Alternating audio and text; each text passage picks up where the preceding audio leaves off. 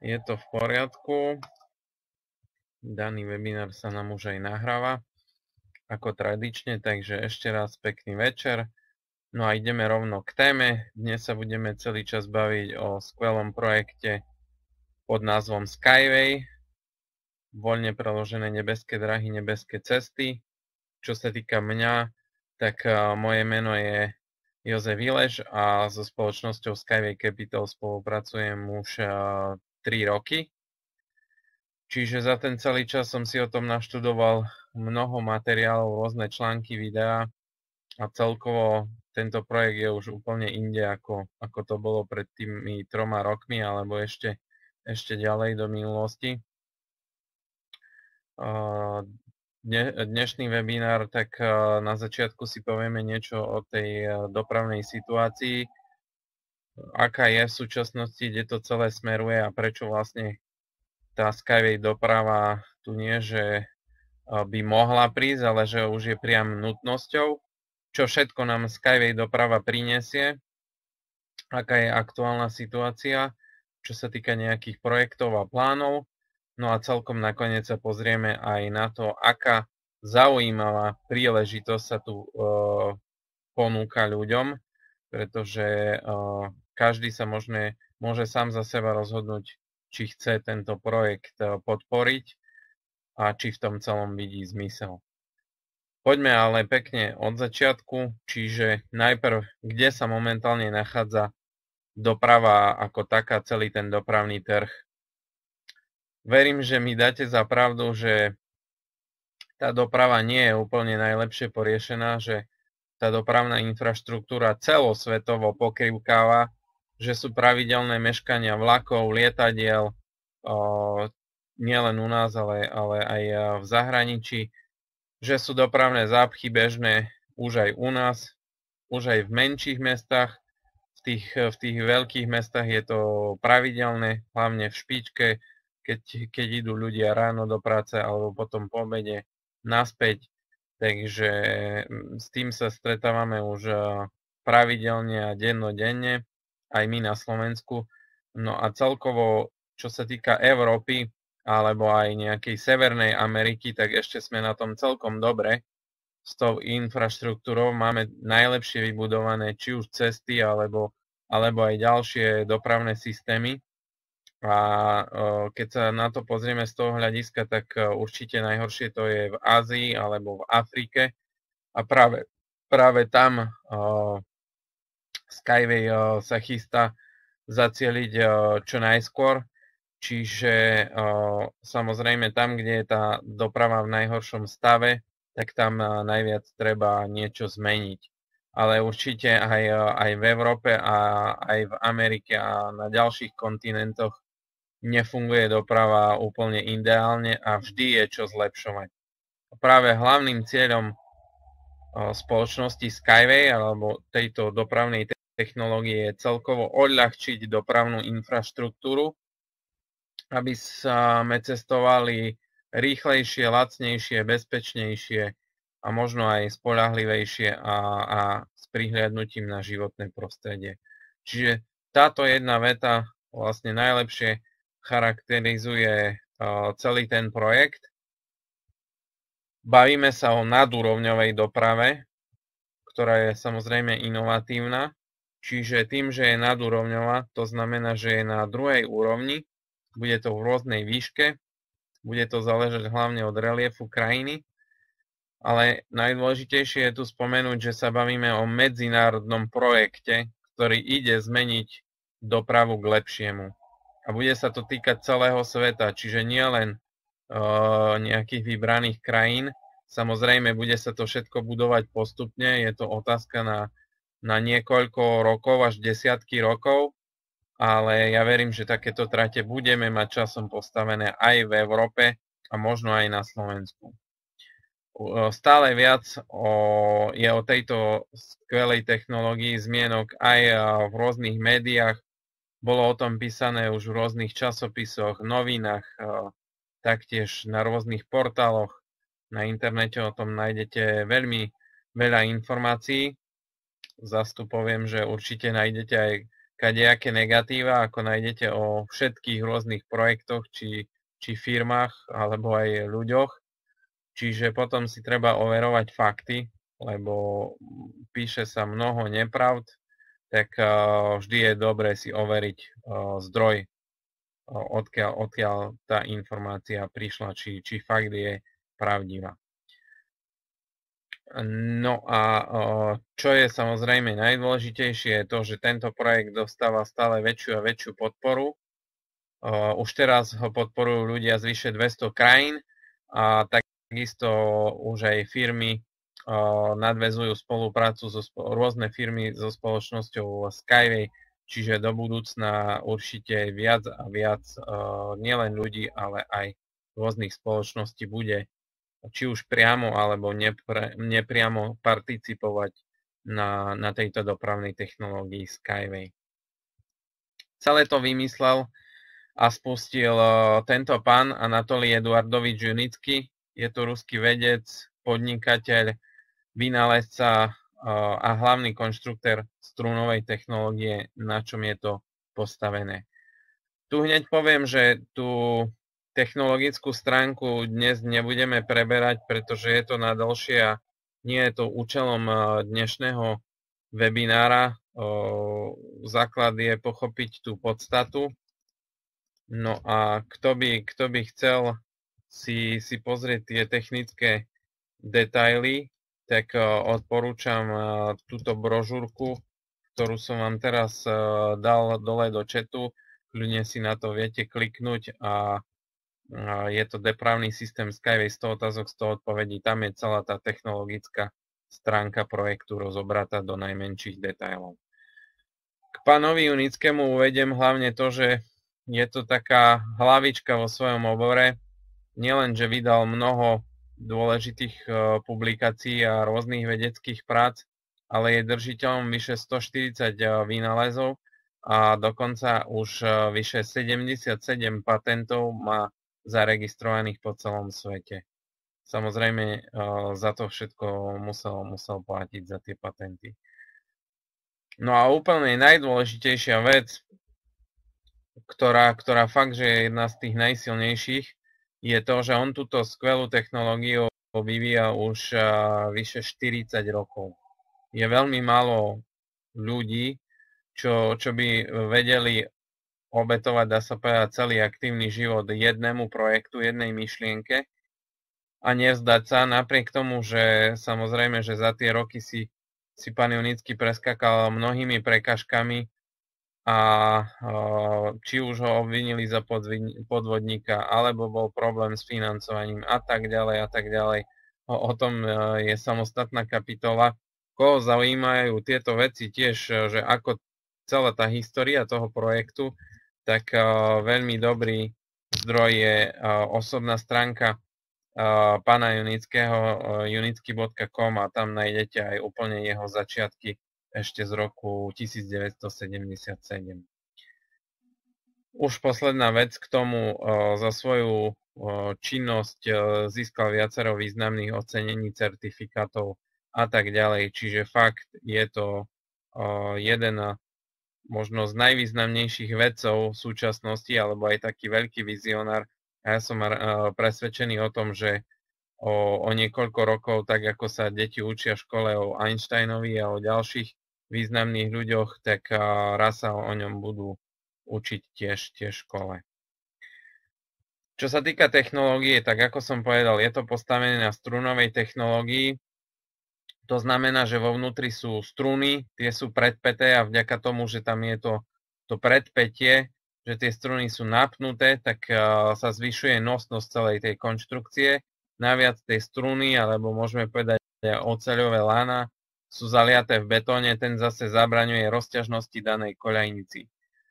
Tento dopravný systém je použiteľný za každého počasia, dá sa postaviť aj na púšti, aj v extrémnych mrazoch, napríklad na Sibíri, Samozrejme, tieto trate sa budú stavať tam, kde budú potrebné a kde budú využívané. Čiže zatiaľ sa neplánuje výstavba napríklad v Antarktíde, ktorá zatiaľ nie je e, obývaná, ale na Sibíri by sa mala stavať takáto trať, pretože Sibír obývaná časť je.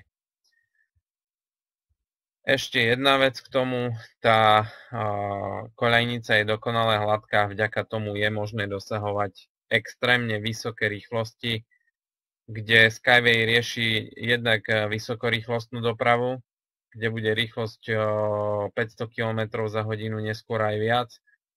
A stále viac sa hovorí aj o piatom type dopravy, ktorý Skyway má pripravený a to je hyperrýchlostná doprava, kde bude rýchlosť až 1250 km za hodinu. Čo sa týka ďalších technických vecí, tak už len spomeniem, že ten pohon, hlavný pohon bude na elektrickú energiu, bude to zabezpečovať takéto motokoleso, vymyslel ho pán Junický, na to má aj patent. A taktiež ďalší, ďalšie špecifikum je takýto špeciálny systém proti vykoľajeniu, čiže tieto dopravné prostriedky sa nedajú vykoľajiť a tá bezpečnosť tu bude na tej najvyššej možnej úrovni. Tento snímok je podľa mňa úplne najdôležitejší z dnešného večera. Tu treba si uvedomiť jednu podstatnú vec a to je to, že napriek tomu, že celkovo na tom dopravnom trhu stále v súčasnosti pôsobí veľmi veľa firiem, sú to tisícky firiem, rôzne železničné spoločnosti, letecké, autobusoví dopravcovia, kurierské spoločnosti a tak ďalej. Veľmi, veľmi veľa firiem rieši tú dopravu, či už priamo alebo nepriamo, ale ani jedna firma nemá nejaké vedúce postavenie na tom trhu, čiže absolútne sa tu neviem baviť o nejakom monopole alebo o nejakej spoločnosti, ktorá by komplexne zabezpečovala dopravu ako takú. Presne toto je cieľom spoločnosti Skyway. Tým, že je tu tá medzera na trhu, tak chcú do budúcna najviac tej dopravy riešiť práve vďaka ich technológii, tej strunovej Skyway a chcú to dosiahnuť vďaka piatim rôznym dopravným typom. Prvý z nich je mestská doprava, alebo aj medzimestská, ale len na krátke vzdialenosti, maximálne do 200 km. Potom ďalší typ je nákladná doprava, tretí vysokorýchlostná, štvrtý turisticko-rekreačná a piatý typ je tá hyperrýchlostná doprava, ktorá zatiaľ jediná nie je pripravená a bude sa, bude sa ešte riešiť ten vývoj v najbližších rokoch. O tú hyperrýchlostnú dopravu majú veľký záujem v Spojených Arabských Emirátoch a tam by mala sa stavať prvá, prvá testovacia trať na tú hyperrýchlostnú dopravu. Toľko k nej stačí, poďme k tým štyrom hlavným, ktoré uh, nielenže sú už pripravené, ale pomaly sa už idú zavádzať aj do reality, samozrejme postupne. Tak nosnou, nosným typom bude určite mestská doprava, pretože najväčšie problémy v súčasnosti v doprave sú práve v mestách. Bežne sú dopravné zápchy alebo rôzne obmedzenia, či, či máme semafory vo, v mestách aj v menších, či sú tam rôzne kruhové objazdy, obmedzujúce rýchlostné limity a ďalšie, či už nepredvídané prekažky a podobne, tak uh, všetko to spomaluje tú dopravu v mestách a priemerná rýchlosť uh, v meste nie, uh, napríklad pri automobilovej doprave nie ani 30 km za hodinu. Kdežto Skyway bude mať maximálnu rýchlosť až do 150 km za hodinu a priemernú okolo tých 70-80 km za hodinu, čo sú veľmi slušné rýchlosti a tí ľudia sa veľmi rýchlo prepravia z miesta A do miesta B, čiže aj z jednej strany nejakého veľkého mesta na úplne iný koniec. Maximálne však táto doprava bude do vzdialenosti 200 km. Čo sa týka nákladnej dopravy, tak takmer všetky tovary a materiály sa budú prepravovať úplne aj celé palety alebo celé kontajnery. Rieši sa aj nákladná kontajnerová doprava. Jeden taký kontajner má aj 30 tón, čiže nosnosť je tu veľmi veľká, čo sa týka tej konštrukcie, hlavne vďaka tomu predpeťu, čo som už spomenul, No a takmer, takmer všetky materiály, tuhé, sípke látky, kvapaliny, plyny a tak ďalej, v podstate takmer čokoľvek sa na tom bude dať prepravovať. Ja verím, že sa raz dočkame aj trati, ktoré prepoja treba z Európu s Áziou a tie kontajnery, ktoré teraz sa vozia prevažne na obrovských lodiach a nielen, že to dlho trvá, 2-3 mesiace, niekedy aj pol roka a nie je to úplne lacná záležitosť, tak ešte naviac tie lode dosť znečisťujú naše moria a oceány. Tak toto je ekologický projekt, veľmi ekologická doprava ktorá nebude znečisťovať to životné prostredie a to by mal byť hlavný faktor, ktorý by mal rozhodovať o tom, že takéto trate nám tu treba budovať, pretože už sme si dosť spustošili našu planetu Zem a je uh, už na čase niečo začať riešiť aj na jej ochranu. Pretože ľudstvo bez prírody neprežije, ale príroda bez uh, ľudí bude fungovať, aj keď my tu nebudeme.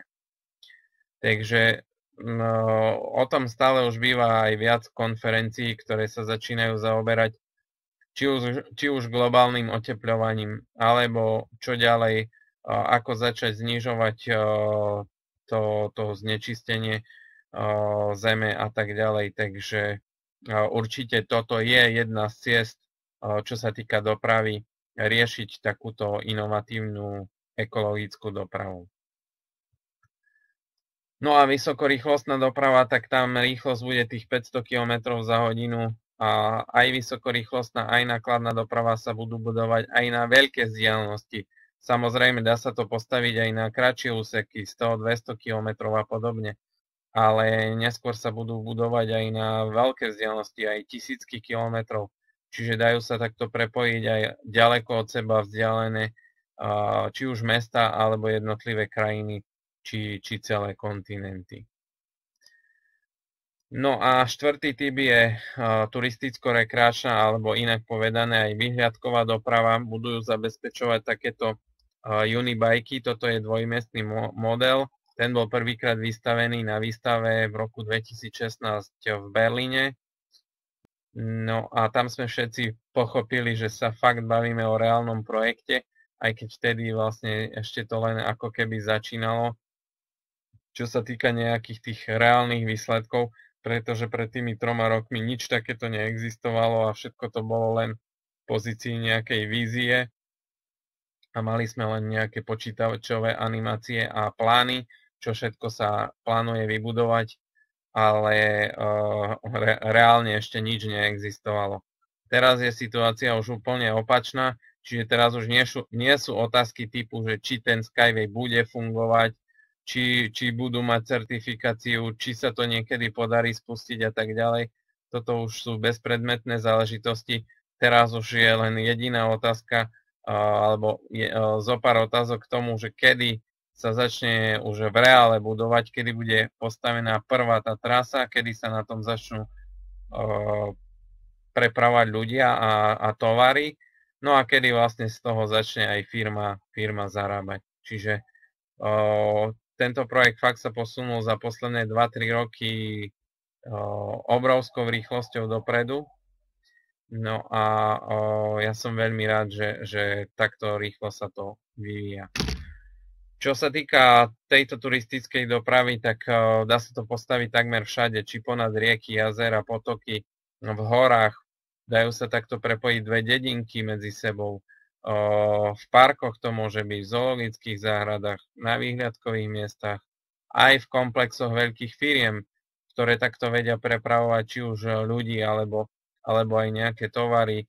Samozrejme, tie modely sa dajú aj prispôsobiť a budú rôzne modely. Toto je napríklad pre dvoch ľudí, ale bude, budú aj iné modely. Čiže bude sa to dať veľmi dobre prispôsobiť individuálnym požiadavkám objednávateľov.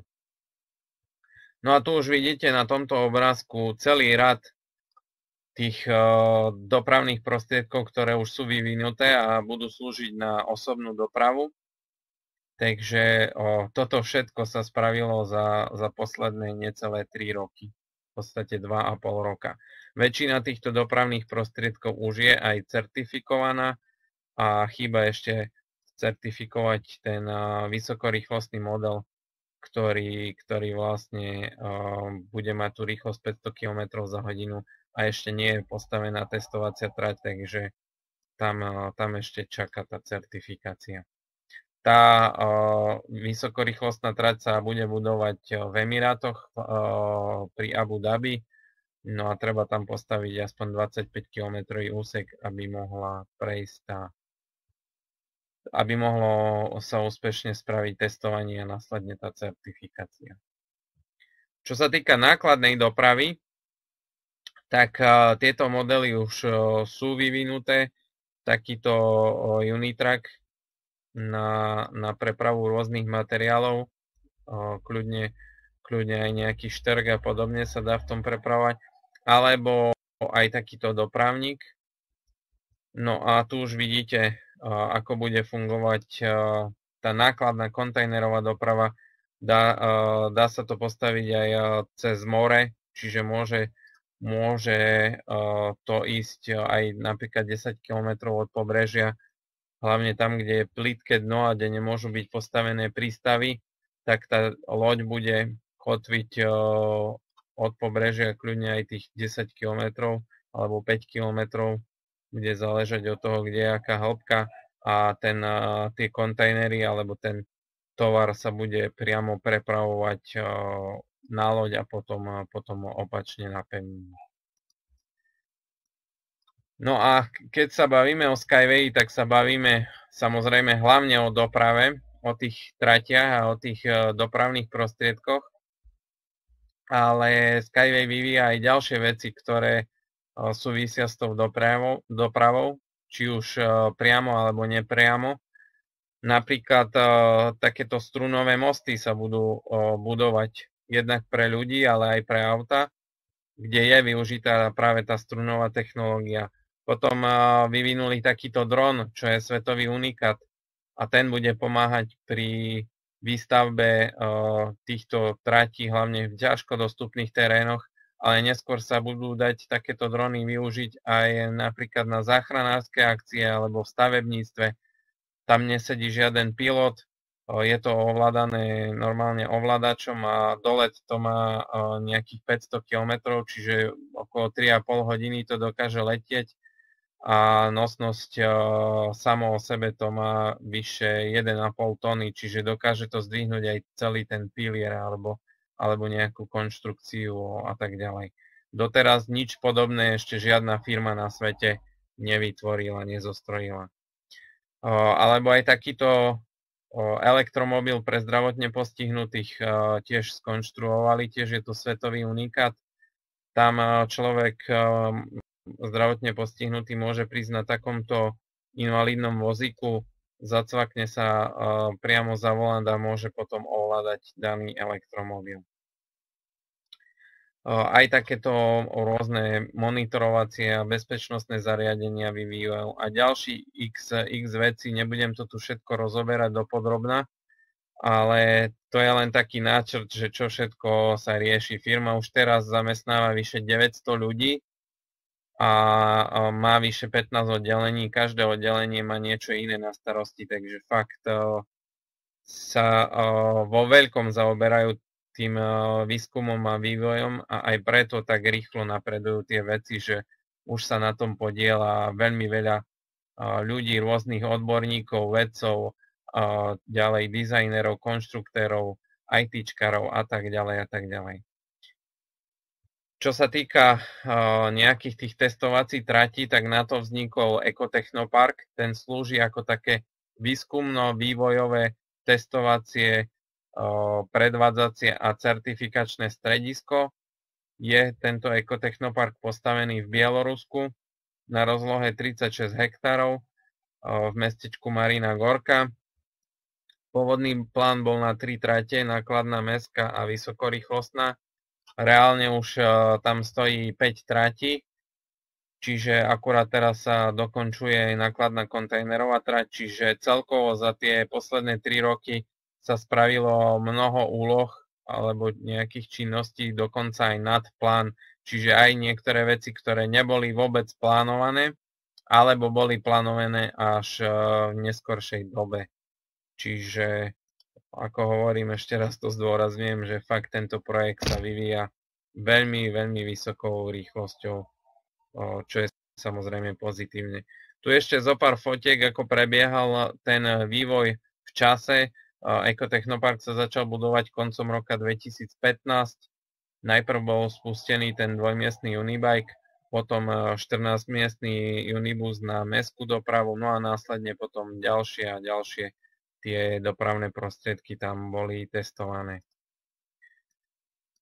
Posledný uh, dopravný prostriedok, ktorý, ktorý vlastne bol uh, vystavený, tak bol tento vysokorýchlostný Unibus.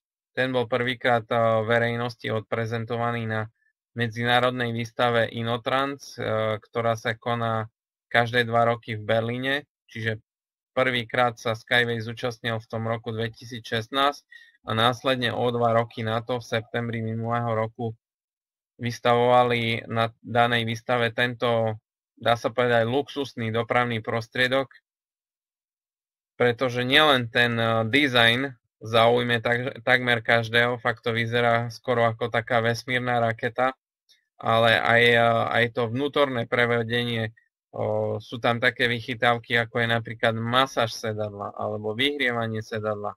Samozrejmosťou je nastavenie klímy, osvetlenia. Každý má pred sebou dotykovú obrazovku, kde si vie o, pustiť obľúbenú hudbu alebo pozrieť nejaký z tých najnovších filmov. O, dokonca tam je webkamera, čiže viete byť v spojení aj so známymi, s rodinou, napríklad keď budete cestovať na dovolenku aj 1500 km Samozrejme, ak takéto trate už budeme mať postavené. Takže o, ďalšia vec, čo chcem spomenúť, že v takýchto dopravných prostriedkoch, nielen tento, ale aj tých unibusoch a ďalších, budú rôzne bezpečnostné systémy, kamerové systémy, senzory, radary, GPS, Wi-Fi a úplne tie najnovšie technológie, ktoré v súčasnosti poznáme a sú využívané v rôznych odvetviach tak konečne aj v doprave budeme mať tieto technológie zastúpené a budú pokope v, v týchto dopravných prostriedkoch využité. Toto je trojsekciový unikár, ktorý sa bude používať na mestskú dopravu. Tam sú miesta len na sedenie a tento model bol vystavený na tej výstave vonku mimo, mimo tej haly. Ďalšou takou veľkou udalosťou minulého roka bol EcoFest. Bol to už v poradí tretí ročník, ten sa koná vždy v tom uh, ekotechnoparku v Marine Gorke. Významný bol minulý rok tým, že sa tam zúčastnilo 5000 ľudí a z tých 5000 ľudí až 2000 ľudí malo možnosť sa na tom aj osobne previesť. Čiže získali aj ten vlastný zážitok alebo vlastnú skúsenosť s tou s tou cestou, s tou jazdou. Ja konkrétne som šiel v tomto 48-miestnom eh, dvojkoľajovom unibuse. Veľmi plynulá jazda, veľmi tichá. Určite, určite si viem predstaviť, že sa takto budú ľudia pravidelne prepravovať na miestach, kde, kde sa takéto trate postavia. Ja dúfam, že to raz bude aj na Slovensku, ale uvidíme, že ako to bude z tohto hľadiska, pretože celkovo v Európe je veľká byrokracia a nie je jednoduché presadiť takéto nové inovatívne veci v rámci, v rámci celej Európy, ale práve preto sa treba na tento projekt pozerať hlavne z pohľadu toho zahraničia, pretože arabský svet, Ázia a Afrika fungujú úplne ináč ako, ako my v Európe. Čo sa týka toho Ecofestu, tak spomeniem, že najbližší štvrtý ročník sa bude konať v auguste, čiže budúci mesiac 17. augusta, to je sobota. Každý, kto by si to chcel vyskúšať, jednak chce to vidieť na vlastné oči, ale chce sa aj previesť, tak môže vycestovať. Zo Slovenska pôjdeme možno minimálne 50 ľudí, počítam, že aj viac, pôjdu aj Česi, čiže budeme tam mať silné zastúpenie. No a už teraz firma oznámila, že každý, kto príde na tento ročník Ecofestu, tak bude mať možnosť sa na tom previesť. Čiže nie len ako bolo pred rokom, že len, bol, že len určitý počet ľudí sa na to mohlo previesť, tak teraz sú už väčšie kapacity, je viac tých tratí, tak každý, každý bude mať možnosť sa na tom povoziť. Na, na daných ekofestoch sa stále zúčastňuje sa aj priamo samotný pán Junický, Následne na druhý deň zvykne byť buď konferencia alebo nejaké iné podujatie, tam tiež zvykne prísť aj pán Junický. Práve táto fotka je po konferencii v Minsku, čo bola ešte pred dvoma rokmi. Čiže budete mať možnosť aj osobne stretnúť s tým zakladateľom daného projektu. A ja som veľmi rád, že práve on zastrešuje tento projekt, pretože je to človek s veľkým srdcom a má vyššie ciele, chce, chce nielenže zlepšiť tú dopravnú situáciu na Zemi, ale má pripravený aj vesmírny projekt Spaceway. Akurát dnes alebo včera bol zverejnený článok, že spolupracuje aj s OSN ohľadom toho vesmírneho projektu. Čiže určite je nielen veľký vizionár, ale fakt, že jeho takým najvyšším cieľom je aj záchrana planéty. Či už cez, e, cez e, zlepšenie tej dopravy na Zemi, alebo potom aj e, riešenie toho vesmírneho projektu. Ďalšou vecou, čo by som rád na to poukázal, je systém 4 v jednom, alebo inak to poviem, že na každú kolejnicu vieme nainštalovať naraz akékoľvek dva systémy z tých štyroch základných, ktoré, ktoré už sú pripravené. Čiže využíva sa závesný systém, to znamená, že je to na tej koľajnici zavesené, alebo potom návesný systém, že je to na tom z vrchu položené. Bude sa to dať rôzne kombinovať, napríklad nákladná kontajnerová doprava môže byť aj z vrchu, aj zo spodu a tak ďalej. Samozrejme oboma smermi, No a určite tu bude aj zabezpečená nadväznosť na súčasné dopravné systémy. Čiže nie je to tak, že do budúcna tu budeme mať len Skyway a všetko ostatné postupne zanikne. Vôbec nie.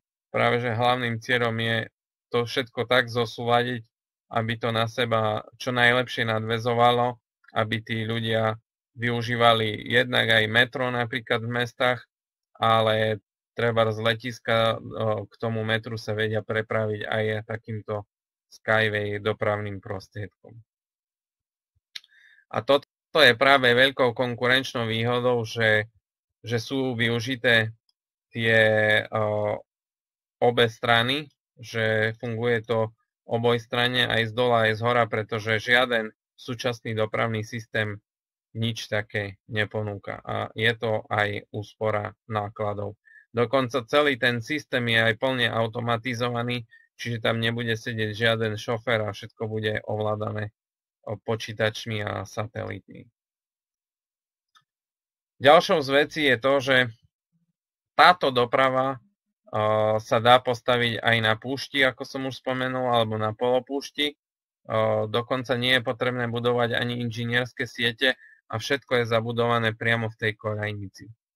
Preto to zaujalo celý ten arabský svet. Oni tam majú dosť nehostinné podmienky a všetky krajiny okolo Perského zálivu, ktoré sú pod skátkou GCC, Kuwait, Katar, Oman, Bahrajn, Saudská Arábia a Spojené arabské emiráty, tak e, majú záujem o túto dopravu a najväčší záujem je hlavne e, zo Saudskej Arábie a z Emirátov. Teraz sa hlavná pozornosť upriamuje na tie Spojené arabské emiráty, pretože tam prebehlo aj najviac jednaní a rokovaní a aj najviac dohôd a zmluv bolo uzatvorených a o tom si povieme ešte, ešte o chvíľku. To, že je to ekologický projekt, som už tiež spomenul, je to fakt jediná dopravná technológia, ktorá je priateľská k životnému prostrediu. Ak si odmyslíme celú tú konštrukciu, tak tá krajina zostáva absolútne nedotknutá a tým pádom túto dopravu vieme postaviť dokonca aj v chránených územiach, kde je zakázaný každý iný dopravný systém, ktorý v súčasnosti je, je nejak vymyslený alebo používaný. Čiže tá ekológia tiež do budúcna bude hrať stále dôležitejšiu a dôležitejšiu rolu a to je jeden z hlavných dôvodov, o čom som ja presvedčený, že tento projekt bude mať stále väčšiu a väčšiu podporu už aj kvôli tomu, že, že je to ekologický projekt. Ďalšia z dôležitých vecí je otázka bezpečnosti. Napríklad e, ročne na cestách zomrie až okolo 1,5 milióna ľudí v súčasnosti. To sú e, veľmi e, zlé štatistiky. Celkovo je automobilová doprava najnebezpečnejšia a bolo prepočítavané na základe rôznych ukazovateľov, že Skyway doprava bude až 10 tisíc krát bezpečnejšia ako automobilová. Už len tým, že to bude na tej druhej úrovni, sa zvyšuje e, bezpečnosť minimálne 100 násobne. Naviac tam budú rôzne bezpečnostné systémy, napríklad aj ten systém proti vykolajeniu a to tiež zvýši bezpečnosť minimálne 10 násobne. Čo sa týka toho, tak tým, že to bude na tej druhej úrovni, tak eh, nehrozí tam žiadna zrážka, či už s chodcami, alebo so zvieratami. A taktiež eh, nehrozí ani žiadna zrážka s dopravnými prostriedkami, pretože väčšina dopravy sa sústredí na zemi, či už sú to autobusy, železnice, eh, električky a tak ďalej, a lietadla sú, sú zase veľmi vysoko. Čiže práve aj keď chceme riešiť bezpečnosť, tak Skyway je na to úplne vhodný systém a to je tiež jeden z cieľov firmy začať znižovať tieto nepríjemné štatistiky úmrtí. Ak by sa na začiatku podarilo zachrániť čo i len 50 tisíc ľudí, tak by to bolo zaujímavé číslo, no a každým rokom by to potom mohlo byť viac a viac. Teraz už prechádzame k jednotlivým projektom. Čo sa týka toho, tak na, na ľavej strane vidíte vypísané výhody, ktoré, ktoré vlastne prináša Skyway dopravný systém. Väčšinu som už spomenul. To, že to bude najlacnejšia doprava je fakt. Sú tu pomerne nízke náklady na výstavbu, ale aj na prevádzku. Samozrejme nie je to zadarmo, ale určite je to o mnoho lacnejšie ako napríklad výstavba diálnic, železníc alebo takého metra. O, tú plnú automatizáciu vysokú rýchlo som spomenul. Napríklad ďalšia z vecí, žiadne negatívne vplyvy na človeka. A veľmi podstatný je aj posledný bod, a to rýchla návratnosť investície. Návratnosť bude 3 až 7 rokov, pre tú mestskú dopravu by to, malo byť, by to mali byť tie 3 roky a pri vysokorýchlostnú dopravu, ktorá bude najdrahšia aj najkomplikovanejšia, čo sa týka výstavby, tak by to mali byť uh, tie, by to malo byť tých 7 rokov. To sú stále veľmi dobré doby navratnosti, ak to porovnáme s výstavbou diálnic, železníc alebo toho metra, tak uh, tam sa bavíme o dobách návratnosti 15, 20, 30, 35 alebo aj viac rokov.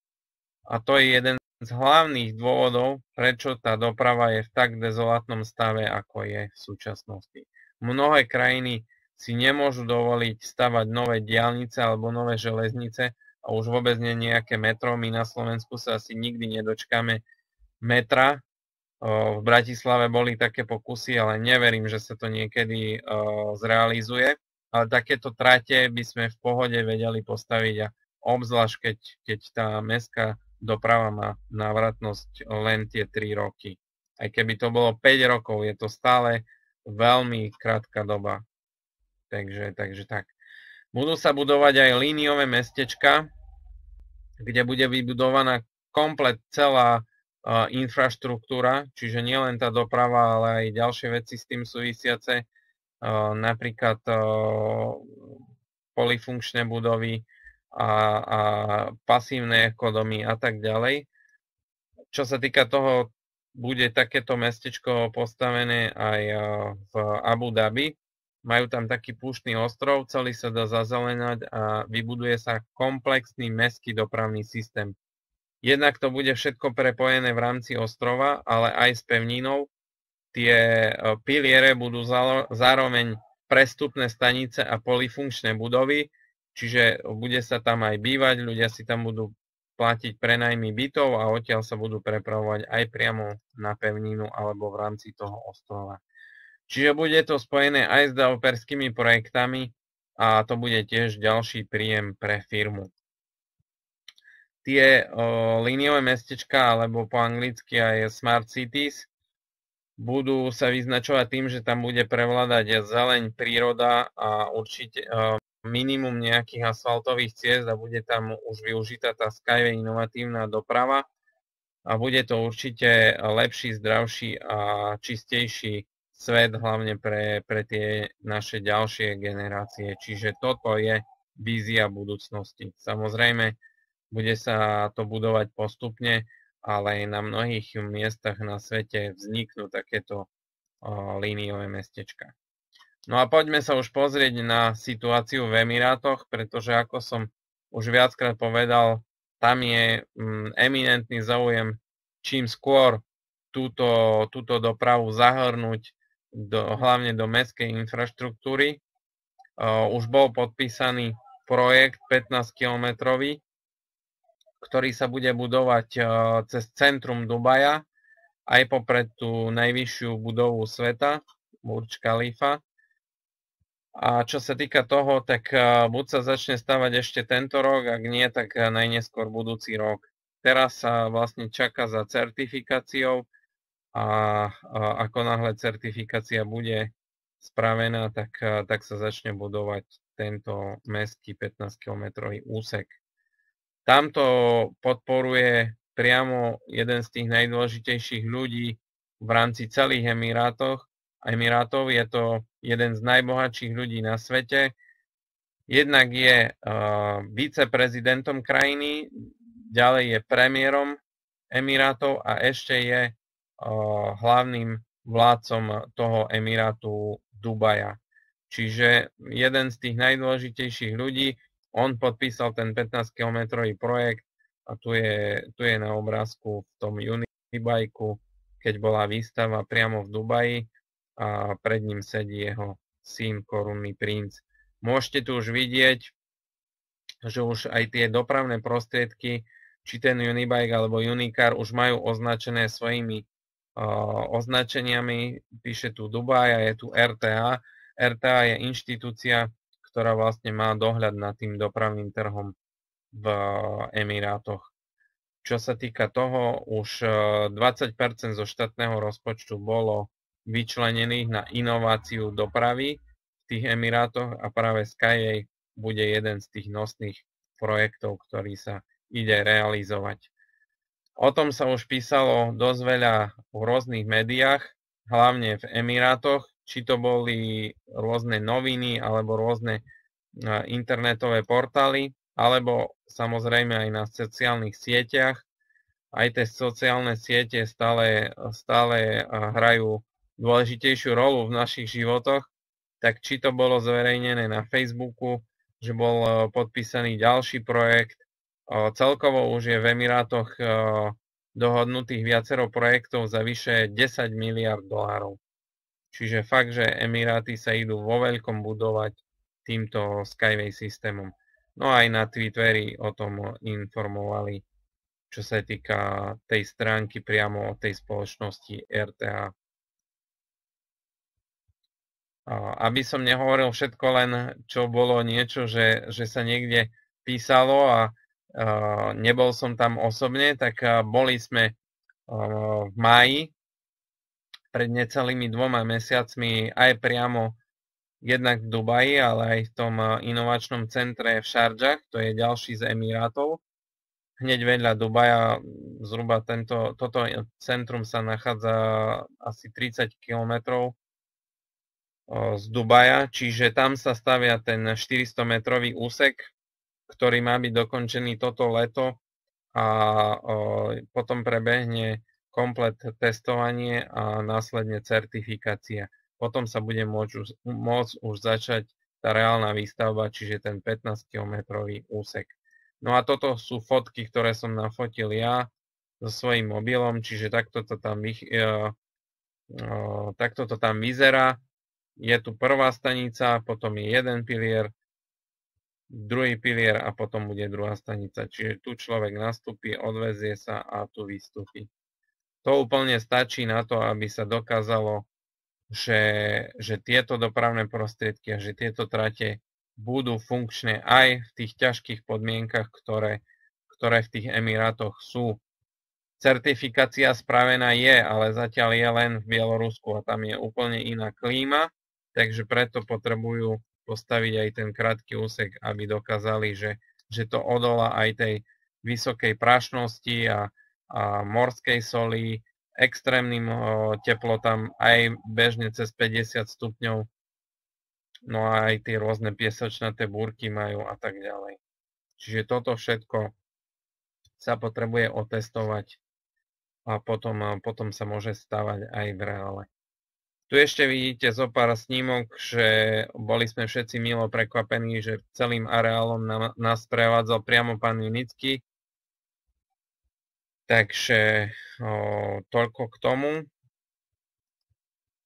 No a tu už je, tu už je o, ten o, v strede je plánik, ako, ako bude vyzerať to inovačné centrum a jedna z tých trátí. A tu je realita, že ako prebieha tá, tá výstavba aj v reále. Dokonca tam budujú aj takýto pasívny ekodom. Je to komplet drevená stavba.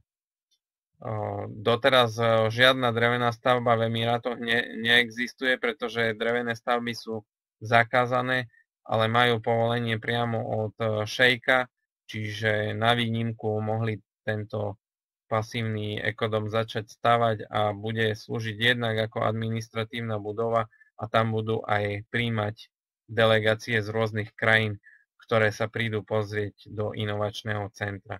Dokonca tam bude aj univerzita a tam potom budú aj vyučovať študentov ohľadom tej strunovej technológie.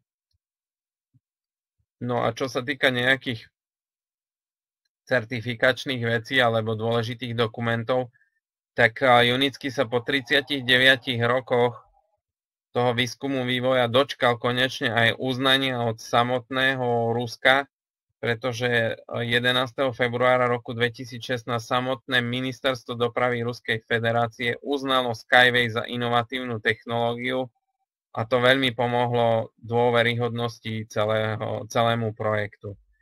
Čiže fakt, že ako som už viackrát spomenul, pán Junický si prežil aj tie ťažké časy, hlavne v tých začiatkoch a veľa ľudí mu neverilo, aj ho odradzalo a odhováralo od toho celého.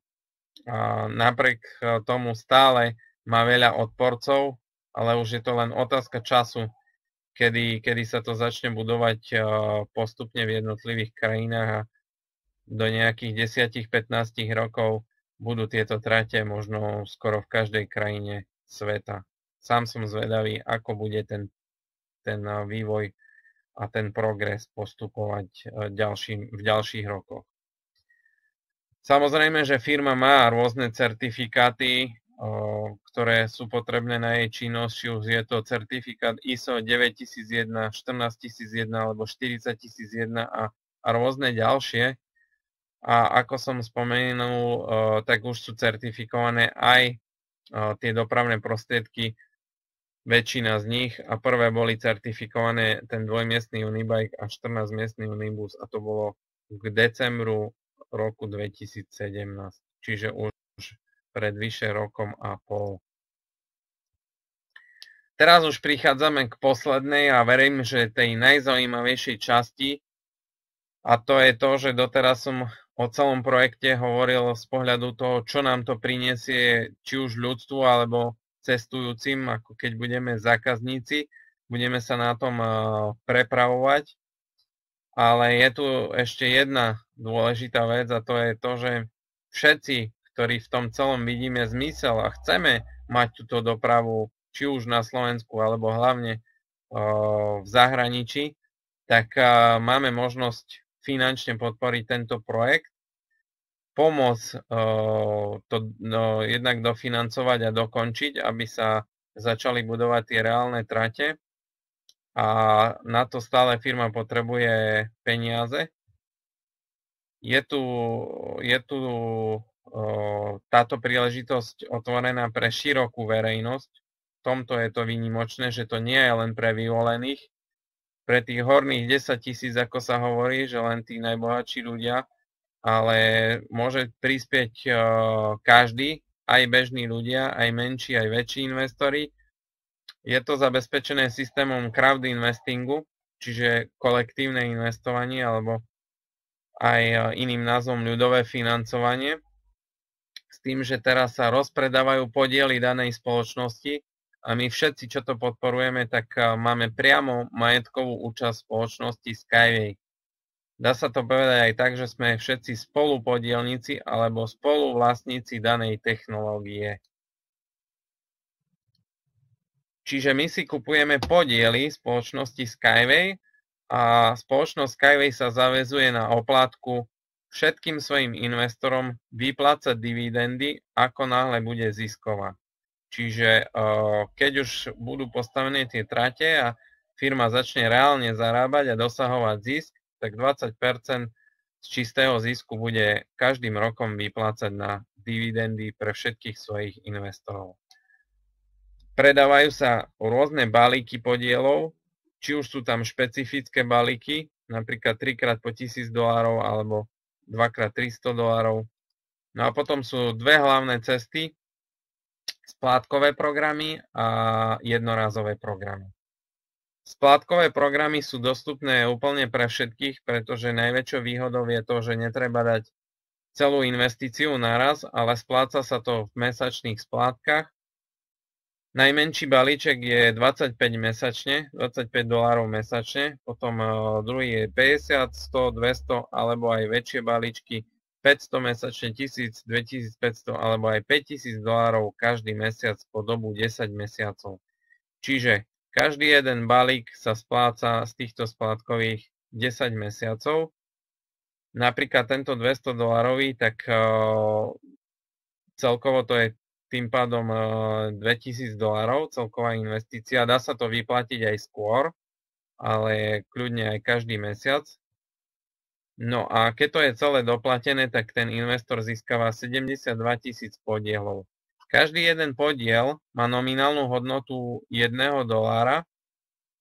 Samozrejme, reálna hodnota ešte taká nie je, tá je pár centov, ale firma neskôr plánuje aj vstup na burzu a práve by chcela vstupovať s tou vstupnou cenou okolo toho 1 dolára na tú, na tú burzu cez IPO. Je tu ešte uvedený aj diskont, pri tomto balíčku je to číslo 36, ale je tu ešte uvedený aj bonus. Ak je prvý mesiac zaplatená dvojitá splátka, čiže nie 200 dolárov mesačne, ale 400 dolárov, tak keď sa to celé doplatí, tak daný klient získava aj naviac bonus tých 2000 podielov, čiže dokopy by mal potom 74 tisíc podielov a ten diskont by nebol 36, ale 37. Ten diskont po slovensky je zľava, čiže koľkokrát lacnejšie ja kupujem každý jeden podiel, ako je jeho nominálna hodnota. Čiže ak zaplatím tú dvojitú splátku pri tomto balíčku, tak 37 násobne kupujem lacnejšie ten podiel. Čiže ako keby som za za 1 dolár dostal eh, tých 37 podielov, čiže v budúcnosti minimálne to bude mať hodnotu 37 dolárov a neskôr aj viac. Pretože sa predpokladá, že čím viac tráti bude postavených, čím viac ľudí sa na tom bude voziť, preprava tovarov a tak ďalej, tak tým budú samozrejme vyššie obraty a vyššie zisky. A, priaznivo to určite ovplyvní aj cenu akcie, keď už, keď už firma bude zapísaná na burze. Čo sa týka jednorázových programov, tak tie sú určené buď pre veľkých investorov, kde sú tie sumy od 25 tisíc dolárov a viac, čiže 25, 50, 100 alebo 150 tisíc. Samozrejme, že tu platí, že čím vyššia je investícia, tým vyšší je diskont, tým vyššia je zľava. Alebo potom sú aj menšie tie jednorazové balíčky z takejto tabuľky, dá sa investovať treba z jednorazovo 3500, 2500 a podobne. Momentálne sme už na konci 13. etapy, to je uh, 13.3, čiže posledná časť 13. etapy a stále sme síce v startup fáze, ale už na jej konci, pretože tento projekt bol rozdelený do 15 etap v tej startup, tej prípravnej počiatočnej fáze pred tým vstupom na ten hlavný trh. No a to znamená, že už zostáva len 14. a 15. etapa. Potom sa tento crowdinvesting v takejto podobe uzavrie a už nikto sa, sa nebude, si nebude môcť kúpiť podiely priamo tie, tej spoločnosti Skyway, čiže toho holdingu. To je uvedené tu, že my si kupujeme priamo podiely od Euroasian Rail Skyway Systems Holding, čiže to je skupina spoločnosti a z toho potom budeme brať aj dividendy, čiže zo všetkých projektov. Duševné vlastníctvo spoločnosti boli, bolo v roku 2013 ohodnotené na sumu 400,8 miliardy dolárov presne toľko je aj podielov a preto je jeden podiel v nominálnej hodnote 1 dolára. Do toho duševného vlastníctva sú zahrnuté všetky patenty, vlastne celá technológia je vyjadrená v tomto čísle. Čiže celé to know-how, ktoré, ktoré vlastne dal dokopy Unicky so svojím tímom, tak je vyjadrená presne v tejto hodnote. Ešte spomeniem, že ako náhle človek má doplatený ten balík, tak eh, dostáva certifikát eh, od eh, Euroasian Rail Sky Systems Holding a je aj zapísaný do registra všetkých investorov. Tento zoznam nie je verejný, je tam zabezpečená ochrana investora, ale samozrejme, že je v súlade s britským právom. Čiže všetky tieto veci sú legálne. Sú tu tri dôležité zmluvy, klientská, konvertibilná zmluva a investičné memorandum. Tam sú podchytené všetky tie právne náležitosti, ktoré, ktoré sú potrebné k týmto veciam. Poslednú vec, ktorú o, teraz spomeniem pri tomto snímku je to, že už teraz firma má vyše 400 tisíc aktívnych investorov z vyše 200 krajín, celkovo už je registrovaných vyše milión ľudí. Stále má tento projekt viac a viac podporovateľov a je len na vás, že či, či sa vám to páči a či vidíte v tom celom zmysel. Posledný snímok dnešného večera a to je to, že vždy bola najvýnosnejšia investícia práve v tej startup fáze, kedy ešte firma nie je tak známa, ale ak má dobrú myšlienku a ak príde s niečím prevratným, čo pomôže tomuto svetu, tak vždy sa jedná o prelomový projekt či sa bavíme o firmách ako je Google, Microsoft, Apple, treba z Facebook a, ďalšie. Len zo pár je tu ukázaných. Ja rád používam príklad o, spoločnosti Apple, pretože Apple vznikol už v roku 1976 a mal troch zakladateľov a jedným z nich bol aj Ron Wayne, ktorý po dvoch týždňoch odpredal svoj 10-percentný podiel za 800 dolárov ale ten jeho podiel má v súčasnosti hodnotu až okolo 55 miliard dolárov. Čiže asi to nebolo úplne rozumné rozhodnutie a možno to ľutuje dodnes, ale ľudia robia rôzne rozhodnutia, aj viac, aj menej vydarené. Čiže je len na vás, či vidíte v tomto možno príležitosť, ktorá prichádza raz za život a chcete sa zúčastniť tohto projektu a dáva vám to všetko zmysel? Ak áno, tak určite čo najskôr odporúčam kontaktovať ľudí, ktorí vás pozvali na tento webinár. Ak si myslíte, že tento projekt nemá uh, nejaký potenciál, tak samozrejme, že nemusíte vôbec ho podporiť. Tento projekt si aj tak už pôjde svojou cestou a môžete ho len sledovať možno o pár rokov, ako sa bude vyvíjať a potom možno budete v podobnej pozícii, ako, ako boli ľudia, ktorí, ktorí doteraz ľutujú svoje, svoje rozhodnutia. Dobre, z mojej strany je to na dnes všetko. Ak máte nejaké otázky, tak dole do chatu kľudne, kľudne môžete niečo napísať. Rád zodpoviem. Snažil som sa tento projekt priblížiť čo najlepšie z môjho pohľadu, keďže fakt, že sa tým zaoberám, dá sa povedať, dennodenne, aj dosť veľa cestujem, tak a hlavne som si o tom naštudoval mnoho materiálov, vedel by som o tom hovoriť hodiny, ale do tej jednej hodiny to úplne stačí, aj tak je toho, tých informácií je mnoho, hlavne na prvé počutie. Verím, že to bolo zaujímavé a že sa rozhodnete správne. Takže vidím, že nie sú žiadne otázky, tak ja vám ďakujem za pozornosť a prajem čo najviac správnych rozhodnutí vo vašom živote. Tak pekný večer a možno s niektorými sa uvidíme niekedy na budúce. Majte